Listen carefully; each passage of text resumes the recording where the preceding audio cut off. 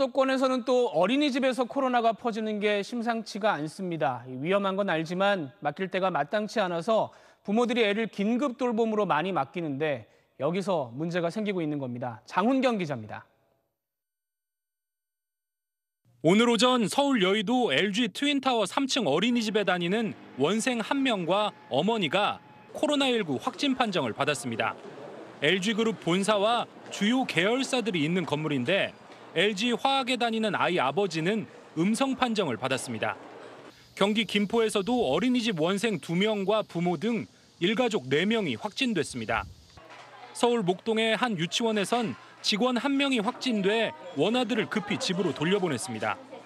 10살 미만 아동 확진자는 지금까지 390명이 나왔는데 사망자는 없습니다. 지자체들은 어린이 안전을 위해 속속 휴원 명령을 내리고 있지만 맞벌이 부부를 위한 긴급 돌봄은 여전히 운영되고 있습니다. 어제 기준 전국 123만여 원생 가운데 절반 정도인 56만여 아동이 어린이집에 등원했습니다. 교사들은 불안을 호소합니다.